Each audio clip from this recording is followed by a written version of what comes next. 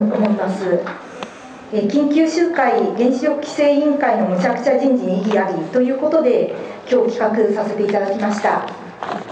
であの今日はですね皆さんあのメーリングリスト等ではあのギリギリになってご案内したんですがあの当初政府交渉ということで、えー署名の提出にかこつけて、えーまあ、この規制委員会の規制庁準備室の方にいらしていただいてですね、えー政府交渉をしようとしていたんですが、えーギリギリになってですねあの先方から、まあ、あのこういう、え今日午前中議運があるというようなスケジュールであの人繰りができないというような連絡があの、まあ、調整の労を取っていただいて服部事務所の方に入りましてで大変残念ながら今日は政府交渉はできないといった状況になりました。であの署名の提出だけでもあの人人を出してくれというふうにあの申し入れていたんですが今あの連絡が入りまして、えーそれもダメだということです。であのまあ、これは経緯としては私たちとしては一番あの国民に対してですねあの説明をしなくてはならないような、えーそういった局面でそういう対応はいかがなものかということはありますがここは、まああのえー、と非常に重要なこのこの間ですねこの規制委員会の人事絡みで、えー重要な情報もいくつかございますので、えーここは緊急集会に切り替えまして私たちの間で、え今、え論点の整理と情報の共有をしっかり行いまして、してえー何としてもこの規制委員会の人事を覆していくといったそういった、まあえー集会の場にさせていただきたいと思います。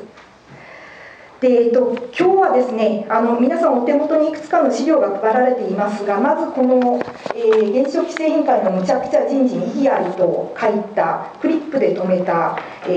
ー資料ですね、えっとこれが今日提出する予定だった、えー署名の表紙ですで、えっとご覧のように呼びかけ団体に、えー FO ジャパン福島老朽原発を考える会 e シフト福島原発事故緊急会議、えー原発を考える品川の女たち等の名前が連ねてあります。で基本的には今日のあの、えー緊急院内集会の主催は、えーこのような市民団体の共催で行っております。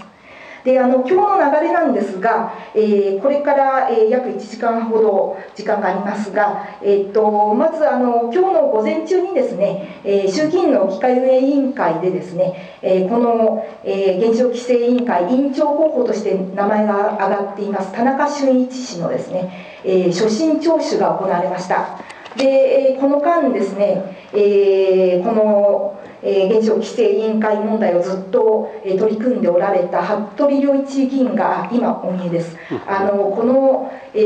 ー機械運営会委員会で質問されていますので、えーぜひそのご報告をまずいただきたいと考えておりますでそれからですね皆さんのお手元の資料で、えー、とポイント1法の結核要件と政府が定めた結核要件というような紙が一番上にくっついている資料があると思います。で2枚目がですね今日まさに、えーここで発表するですね、えー脱原発弁護団全国連絡会の緊急要請がついています。これはあの本当に、えー、と重要な話です、えーこれはこの人事は法律違反だというような指摘になっています。でこれはあの脱原原発弁護団全国連連絡会の、えー京都代表の海藤先生が見えていますので後ほどはいあ、二人です。はい、えー、と河合先生も見えておりますのでお二人にご説明いただくということになりますでその後ですね、えー、と今回私たち側で、えー、と一体今回のこの人事問題のポイントは何かということをざっと説明させていただきましてで今日はあの福島からもそして自主避難をされた方もですね見えています。でぜひそういう方々からですね、えー、と生の声を聞きながらですね、えー市民側として今後どうやってこれこの問題に取り組んでいくかということを、えー話し合いたいと思っています。じゃああの早速なんですが、えー社民党の服部良一議員にですね今日の大丈夫でしょうか？いきなりでしょうか？大丈夫でしょうか？はい、今日のあの議会運営委員会などこのところの国会のあのやり取りをご紹介ください。お願いします。